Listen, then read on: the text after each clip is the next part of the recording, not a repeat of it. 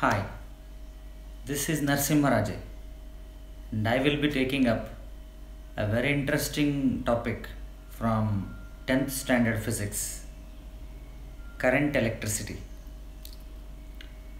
The very first question that comes in the beginning of this topic is what is meant by electric current?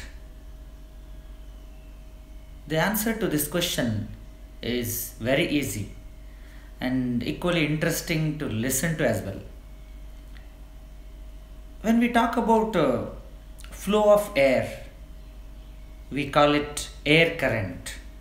Have you heard this? When we talk about uh, flow of water, we call it water current.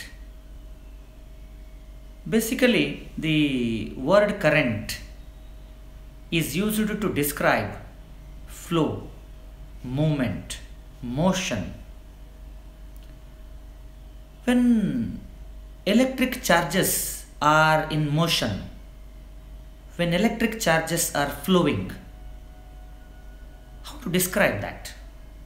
By using the word current, electric current, isn't it? So, electric current means flow of electric charges. Further, you may question what sort of uh, electric charges flow? Protons cannot flow, they are locked inside nucleus of an atom. So, electrons only can flow, electrons only can move. So, electrons in motion constitutes electric current. So, this is how we understand the meaning of electric current. Thank you.